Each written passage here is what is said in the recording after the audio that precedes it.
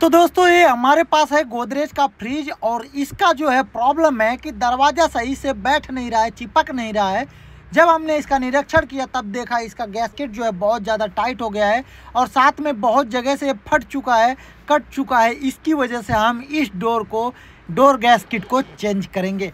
तीन मिनट के इस वीडियो में मैं आपको बताऊँगा किस तरीके से गैस किट को आप आराम से चेंज कर सकते हैं। सबसे पहले हम इस गैस किट को आराम से निकाल लेंगे। बहुत ज़्यादा आपको धाधली नहीं करनी है। आराम से बिल्कुल निकाल लेना है और ध्यान देना है कहीं इसकी बॉडी बॉडी जो है सड़ी ना हो, टूटी ना हो, इससे क्या है, काफ़ी ज़्यादा प्रॉब्लम क्रिएट हो जाता है। सही से गैस किट जो है हमारा नहीं बैठता है। तो यहाँ पे ये हमारा जो है गैस किट निकल चुका है।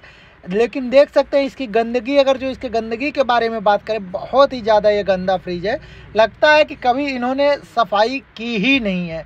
तो छोड़ो, इनकी बात सफ़ाई करने का सफ़ाई तो हम कर ही देंगे, क्योंकि इनका फ्रिज जो है बहुत ज़्यादा गंदा है। तो सबसे पहले हम इनके फ्रिज की जो डोर गैसकिट जहाँ हम लगाएँगे, वहाँ की अच्छी तरीके से हमको इसकी सफ़ाई कर लेनी है। अगर जो हम इसमें सफ़ाई नहीं करेंगे तो इसके अंदर फंगस पैदा होंगे, कीड़े वगैरह होंगे तो उससे नुकसान होगा। ये हमारे पास गोदरेज का गैस किट है, ओरिजिनल, और यहाँ पे हम इसकी साइज़ भी माप लेंगे। साइज़ हमारा परफेक्ट है। साइज़ जैस, जिस तरीके से हमने पुराना गैस किट को निकाला था, उसी तरीके से हम नए गैस किट को लगा देंगे। ये गैस किट लॉक वाला आता है, आपको कुछ नहीं करना है। जिस तरीके से आप निकलते हो उसी तरीके से आपको आराम से बैठाते हुए चले जाना है। यहाँ पे बहुत बड़ा रॉकेट साइंस नहीं है कि गैस किट आप बैठा सकते हो या नहीं बैठा सकते हो।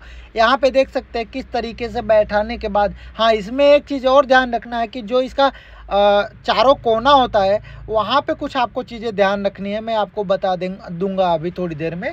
क्योंकि वहाँ पे क्या होता है कि जब आप सारे गैस किट को बैठा लेते हो तो कोना जो है वो खुला रह जाता है। तो वहाँ पे सबसे ज़्यादा प्रॉब्लम कारीगर भाई को या कस्टमर खुद जब लगाता है तो वहाँ पे फेस करना होता है। मेरे पास कई सारे ऐसे कमेंट आते हैं कि भैया सब कुछ तो ओके है, लेकिन हमारा जो कॉर्नर है, वो अच्छी तरीके से नहीं बैठ रहा है। तो दोस्तों देखिए कॉर्नर बैठाने के लिए क्या करना होगा? यहाँ पे देखिए हमने बैठाया है, लेकिन यहाँ पे परफेक्ट नहीं बैठा है। अब यहाँ पे क्या करना होगा? आपके पास हेयर ड्रायर होगा तो उस तरीके से हेयर ड्रायर से आपको गर्म करना होगा। अभी मैं दिखा देता हूँ, मेरे पास हेयर ड्रायर है, मैं इसको लगा के और अच्छी तरीके से चिपका के छोड़ दूँगा। यहाँ पे हमारे पास हेयर ड्रायर है, इसको हम यूज़ करेंगे। तो यहाँ पे यूज़ करने के बाद जो है, हम इसको टैपिंग कर दिए हैं। क्योंकि अब हमको फ्रिज को चालू रख देना है और टैप से इस तरीके से बंद करके दो से चार घंटे आप छोड़ देंगे तो आपके फ्रिज का गैस किट जो इतने अच्छे से चिपक जाएगा कि आप समझ ही नहीं पाओगे कि ये गैस किट हमने भी लगा दिया। ऐसे वीडियो देखने के लिए लाइक करें।